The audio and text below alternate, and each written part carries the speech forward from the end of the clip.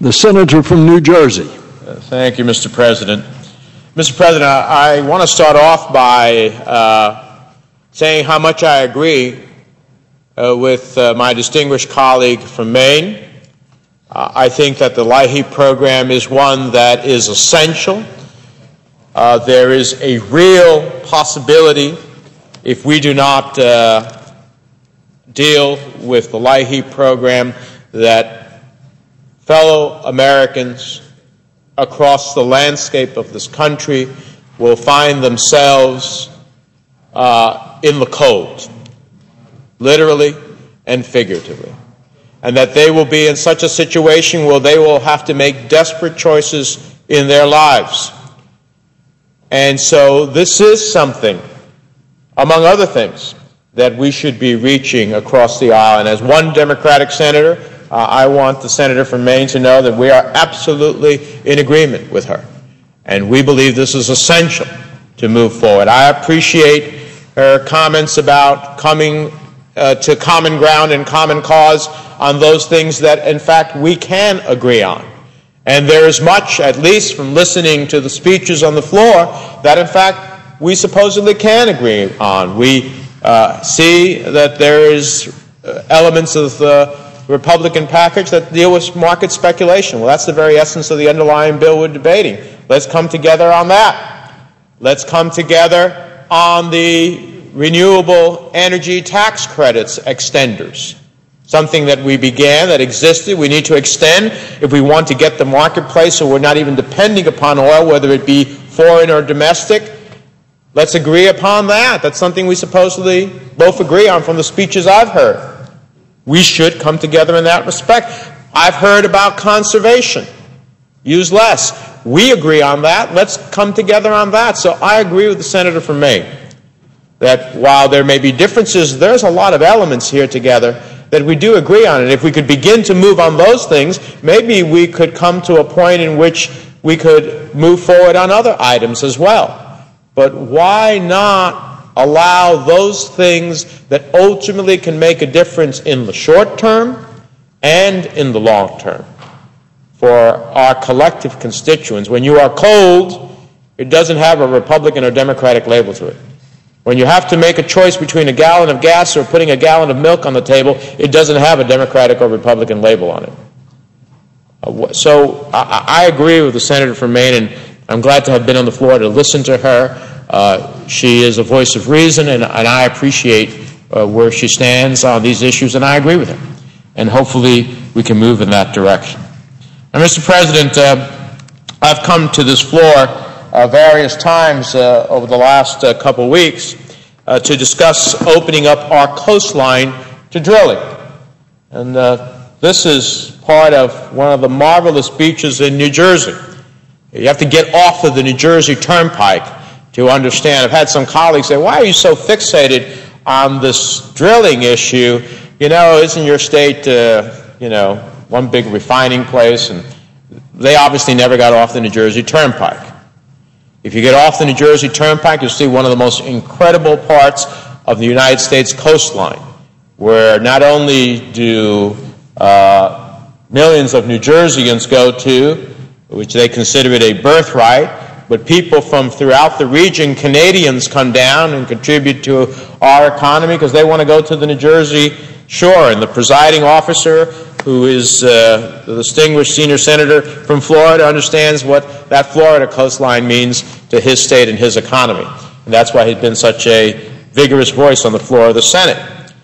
But ever since uh, I've been having to come down to the floor uh, ever since we've had these two oil men in the White House, uh, the presidential candidate they support, and many uh, on the other side of the aisle, not all, but many on the other side of the aisle who have begun a very hard sell to the American people of an absurd notion that opening up our coastline to drilling will ever lower gas prices.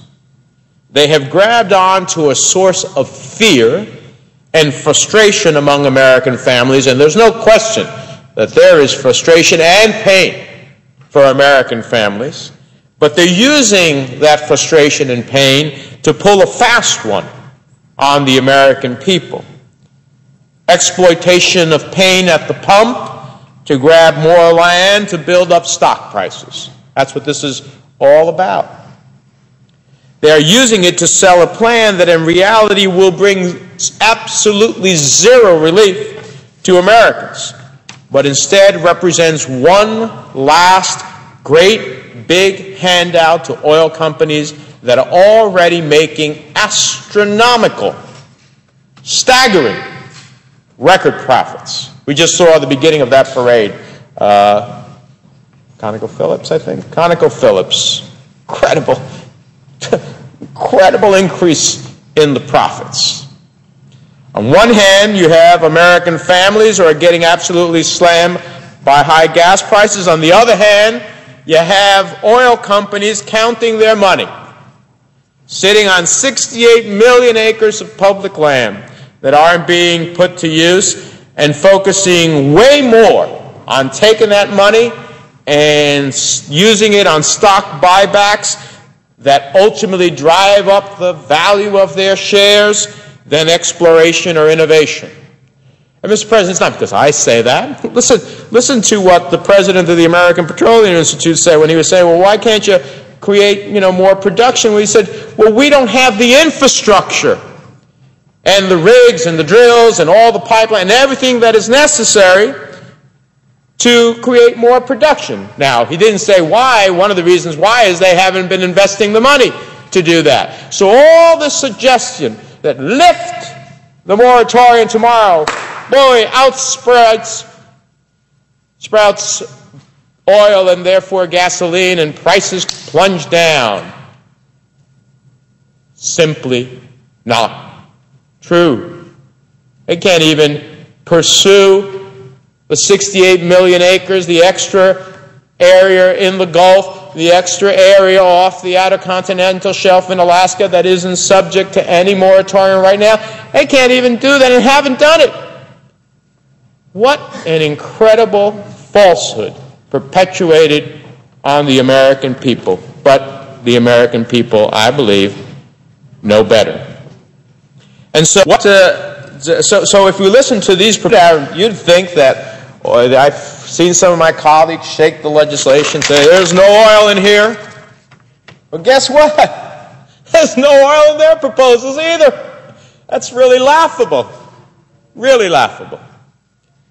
Now, what do our colleagues on the other uh, side of the aisle do choose to help? Who do they choose to help? Well, the oil companies who have more money than the eye can see and you don't even hear them talk. Hear them talk about the oil companies. They never invoke their name unless it's to say, oh, we need to give them more. We need to do more for them. We need to do everything for them. I, I, I just wish I was in the, the average American wishes that they were in the role of the oil companies. Record profits, huge amounts of money. Let's give them more. Let's give them more. They never hear from our Republican friends talking about the oil companies having any responsibility. I'm not saying the responsibility, any responsibility for some of our lack of production.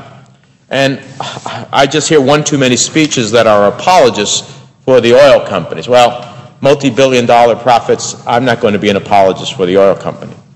So, as we try to pass legislation to crack down on greedy oil speculation, which could lower gas prices quicker than anything, they just say no, even though they include it as part of their proposals. Now, you know, back at home, what, uh, people who are hearing these debates and say, well, you know, they keep talking about speculation. I know what speculation generally means, but what does it mean in the context to the average person? Well, what it means is that traders, buy huge quantities of oil online, many times intentionally inflating prices. They then turn around and sell those very orders to other traders at even higher prices. And these traders never intend to use the oil. This is not a purchase of oil because they're going to ultimately use it in distribution in the country and make sure that people have, for example, home heating oil or they're going to refine it and have gasoline. No, they use these constant trades bidding up the price so they can ultimately cash in. But who gets stuck with the bill every time we have to pay, pay uh, to fill our tanks and heat our homes? It's the American consumer. We Democrats want to do something about it. Now, for those who keep saying, oh, even though it's part of their plan, oh no, oh no, this is really not a problem. Well, Mr. President, let me read to you from an article that appeared today, July 25th, New York Times. Firm said to manipulate oil market. Commodity regulators in Washington have accused a Dutch trading company of making roughly a million dollars in illegal profits by manipulating the prices of crude oil, heating oil, what we're going to be using this winter, and gasoline over what period of time? An 11 day period of time. A million dollars in 11 days in illegal profits. Oh, it's not a problem.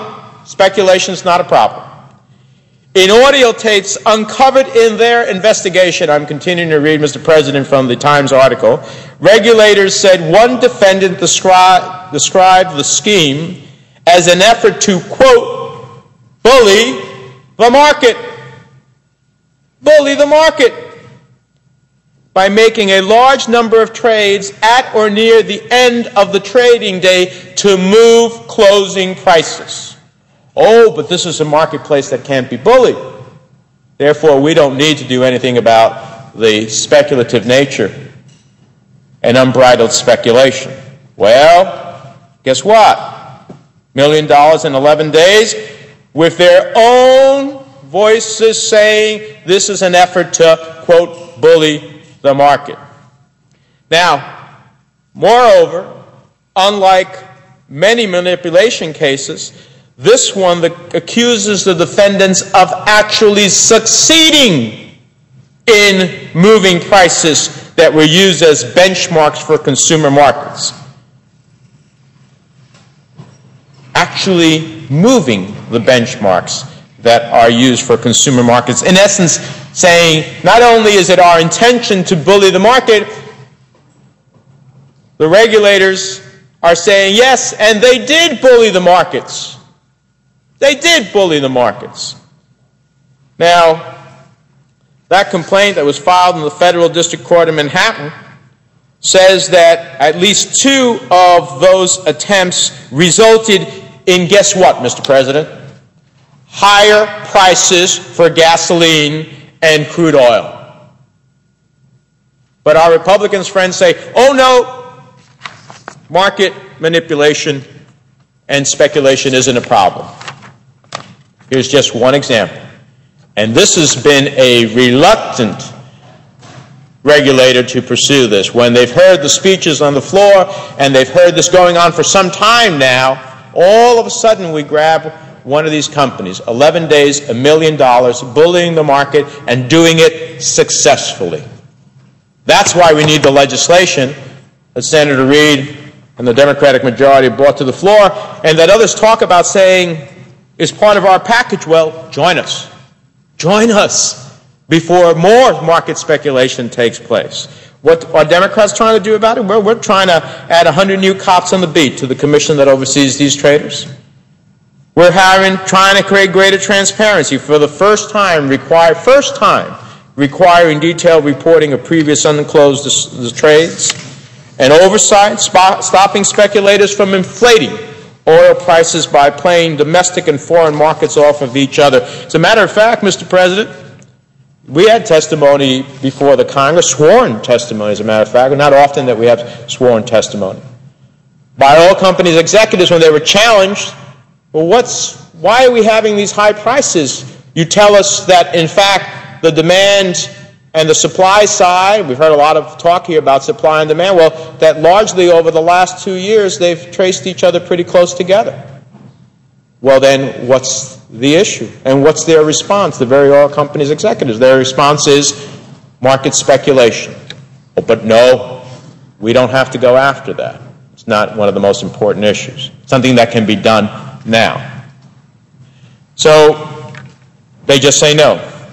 Now, you know, Mr. President, I've got to hand it to my colleagues for their political talent to use an issue so vital to the daily lives of Americans, convince them that you want to do something about it with a proposal that is more about oil company stock prices than gas prices.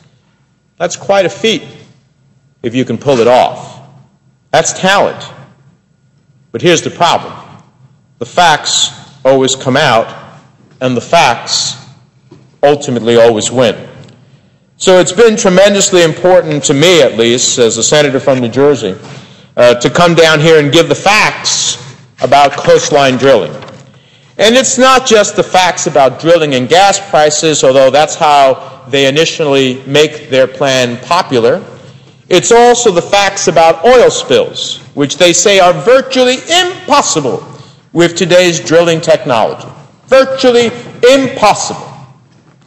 Well, that's exactly what they told us about the tanker industry that carries the oil.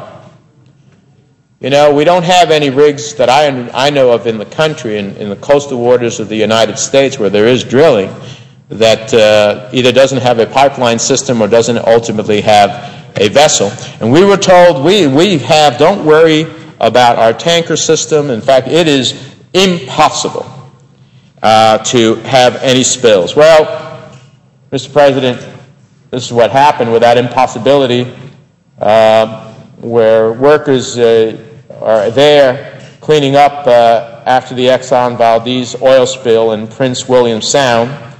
Uh, a lot of oil there.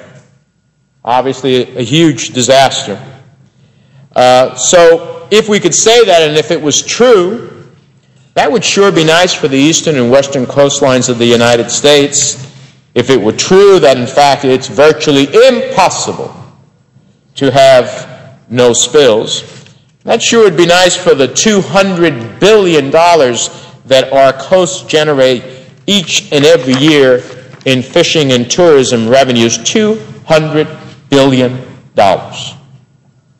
And it sure would be nice if it were true for my home state of New Jersey and the millions of people who end up uh, on the Jersey shore each summer, and the half a million jobs just in the state of New Jersey supported by the economy there between recreation tourism and the commercial fishermen and the recreational fishermen. It sure would be nice if an oil spill off the coast of Virginia didn't have the potential to affect the coastline from South Carolina up to New York. That sure would be nice if it were true. But the facts, Mr. President, always come out. And at the end of the day, the facts always win. Now, earlier this month, a distinguished minority leader made this statement echoed by several of his colleagues as part of their hard sell to the American people. And I quote, not a drop of oil was spilled during Katrina. Not a drop of oil. Well, that sure would be nice if it was true. But the fact of the matter is, is that we see here a photo from the U.S. Coast Guard that was published in the Washington Post uh, on July 14th of 08. And it is, shows us what was happening with the spills and how they were trying to burn those spills up in order to try to deal with a disaster. But not a drop of oil was spilled during Katrina. Guess this picture must be a fabrication of the Coast Guard. Last month, Senator McCain said, and I quote, not even hurricanes Katrina and Rita could cause significant spillage. Well, it's the same picture, Mr. President, by the U.S. Coast Guard. That sure would be nice if it were true. Last time I checked, 7.7 million gallons of oil is pretty significant. Pretty significant. And then in the last 24 hours, Mr. President, there was a stroke of poetic justice. Poetic justice. Senator McCain was ready to fly out to an oil platform in the Gulf of Mexico to stage a photo opportunity. He was ready to show how safe it is to drill for and transport oil these days. Nothing to worry about. Unfortunately, he should have known better because the facts always come out and the facts always win. Just as he was set to do this, Yesterday there was an accident on the Mississippi near New Orleans in which a freighter rammed a barge and spilled 419,000 gallons of fuel oil. Next thing you know, the McCain photo op was postponed. Seems they realized that it's hard to make the case that oil drilling and oil transportation is completely safe when there are 419,000 gallons of oil floating around, washing up on the shore nearby. So, of course, now his representatives are saying it was because of the hurricane that hit the southern tip of Texas yesterday that this event was canceled. And I thought, well, that might be a legitimate reason. But then I checked the National Weather Service forecast. And what did the National Weather Service forecast, which I have right here, Mr. President? Satellite images, uh, detailed forecast say. It said the National Weather Service made the following forecast today for the Louisiana Gulf Coast partly cloudy, scattered thunderstorms, mainly in the afternoon. Highs in the lower 90s. Southeast winds from 5 to 10 miles per hour. Chance of thunderstorms, 30%. I think the presiding officer has a pretty good sense that this is pretty tame weather conditions for this time of the year. Certainly not hurricane weather. So if you look up irony in the dictionary, I think you'll find uh, possibly uh, that it might describe canceling an oil drilling photo op because a massive nearby oil spill took place. Having to cancel your big oil drilling photo because of the massive oil spike is like canceling a crime safety photo op because the house next door just got robbed. In selling this absurd coastline drilling plan to the American people, Senator McCain and others have time and time again pointed to advanced technology that would supposedly eliminate the threat of massive oil spills. Well, this is the oil fire after Katrina. As he can now personally attest to, even with the most modern technology, we can prevent massive oil spills like the one currently devastating the Mississippi, just as we couldn't prevent 7.7 million gallons of oil spills after hurricanes Katrina and Rita. And that's the type of straight talk we need about oil drilling and the type of talk the American people need to hear and that they deserve. Whether it's the claim that coastline drilling will lower gas prices, which we know it simply won't. I mean, not only is it clear that when there are millions of acres already subject to oil exploration that aren't being pursued, when in fact the American Petroleum Institute president says, well, we don't have the infrastructure and the drigs and the rills to pursue it. We just, we just can't do that overnight. When in fact, we know that we have reduced 800,000 barrels a day in demand because of high gas prices.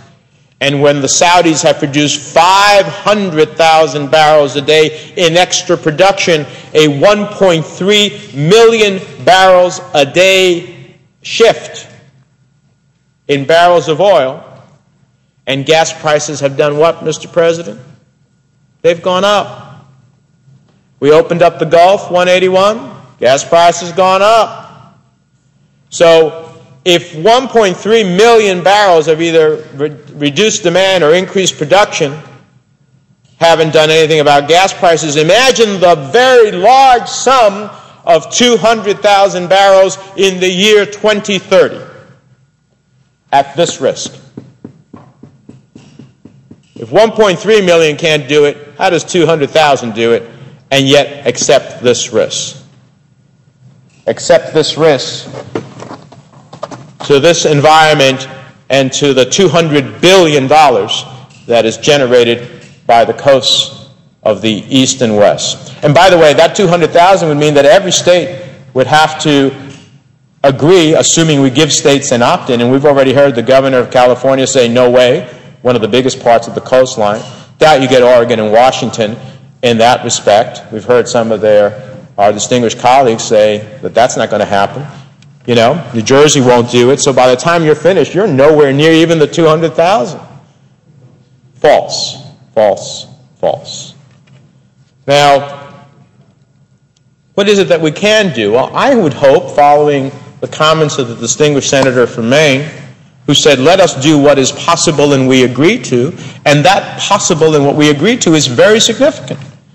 Republicans say they offer renewable energy sources and for providing the tax credits that existed and expired and should be brought back to life. They say that they're for that. Well, you've said no twice, though. Twice we've brought that forward, and you've said no twice. And the fact is that passing the tax credit extenders would create the incentives that are necessary to move us in a direction in which oil is not the issue and risking the coastlines and the 200 billion economy is not the issue.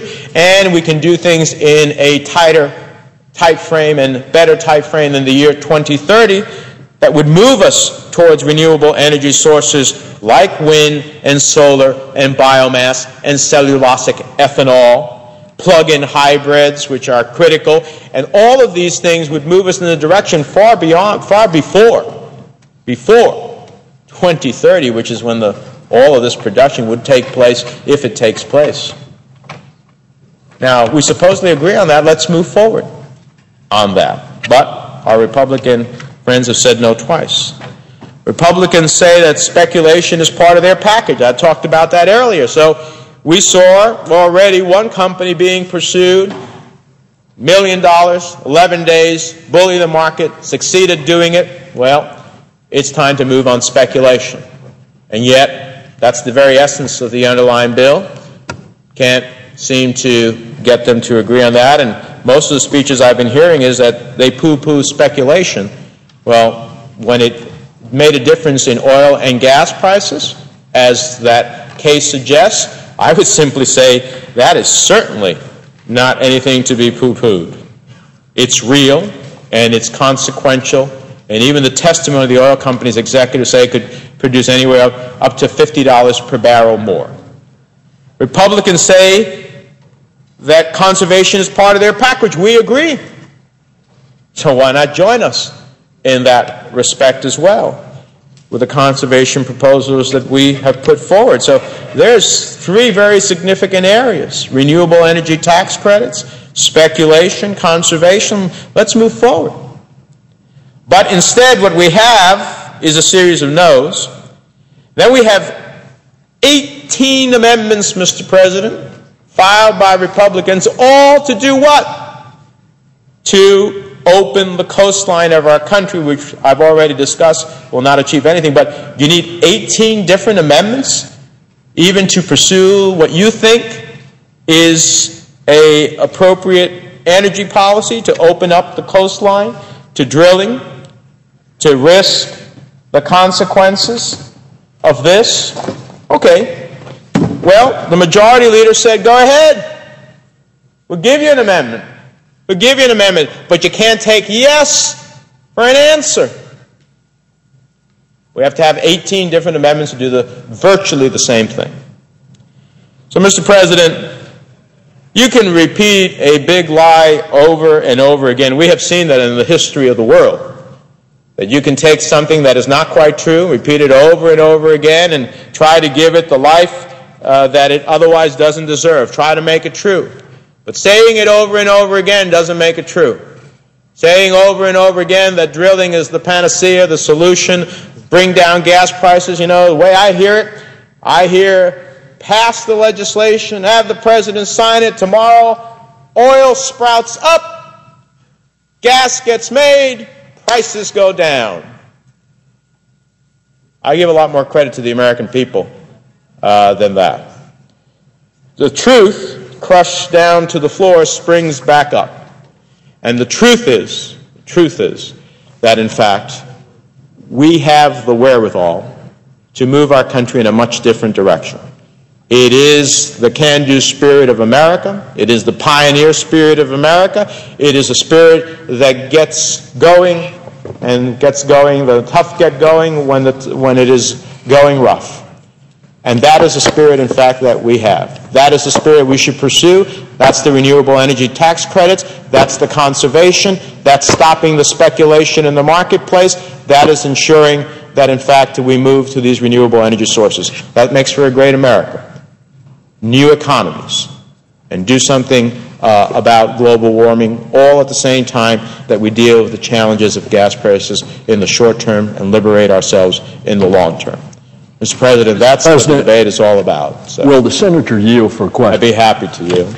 Uh, the senator has given an excellent exposition uh, and debunks a number of these myths. And I just wanted to ask the senator in his recitation of debunking the statements made by a number of senators on this floor that there was no spill no oil spill in the Gulf of Mexico after Hurricane Katrina and Hurricane Rita.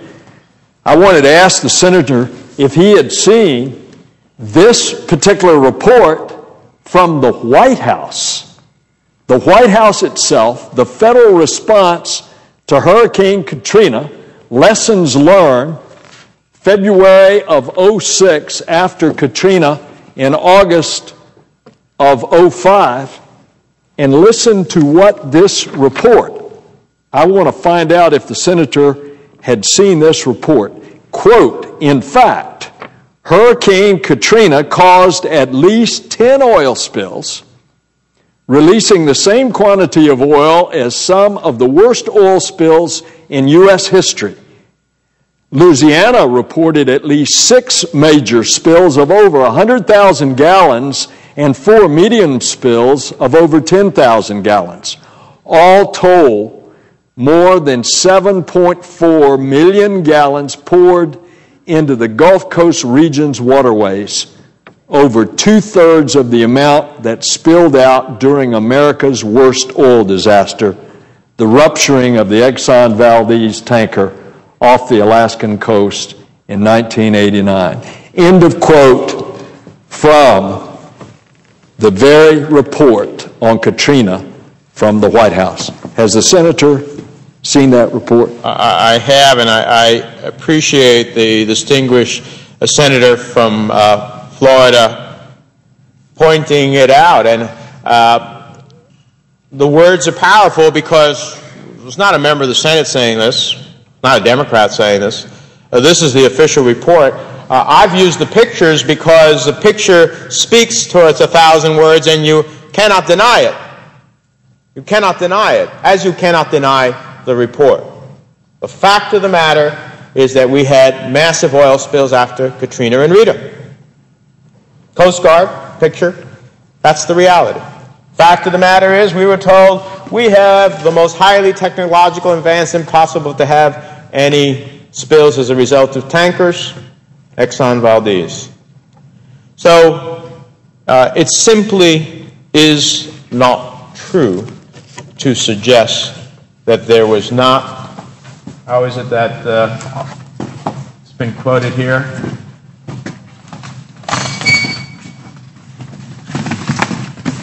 Not even hurricanes Katrina and Rita could cause significant spillage. Or